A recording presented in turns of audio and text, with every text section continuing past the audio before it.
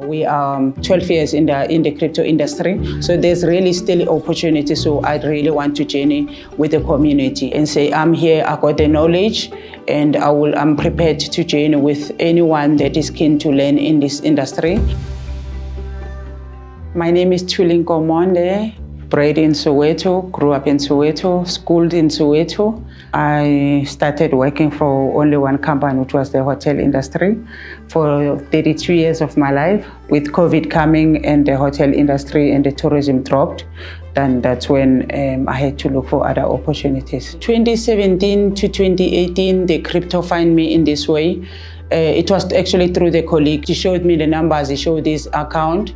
And for me, for to see that, then I said, okay, it should be a good space then to participate in. Um, the support that we're getting from Binance, it's it's it's it making a huge impact, in a sense that. Um, the first thing that you do to people, you make them to be very comfortable to say we're not scammers, and so that we are seen that we are very legit.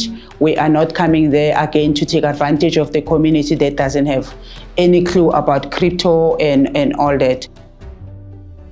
My favorite feature on the Binance platform, uh, I must say, it's on ramping. Uh, I think I like that because uh, we had a struggle with the local exchanges where you had now to say a person before you actually get to Binance, you had a middle exchange that people needed to go into before they actually go to Binance.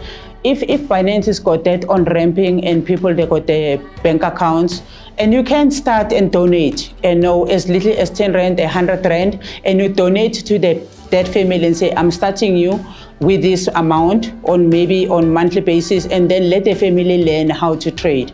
And the second one that I actually like about Binance is the Binance Pay, which I think is going to be very exciting because eventually, as a community, we will be easy. You know, you can buy your bread and milk using your Binance Pay, you pay in your taxi, uh, your bus fare through, already I'm using my Binance Pay to buy my airtime. Our community are more on the radio, they're radio inclined. So if we can actually use that space and communicate, answer the questions, let them phone in and then engage, make them to be comfortable, have a, a, a show that we're talking about what is happening and Binance is really in, in, in the heart of the people.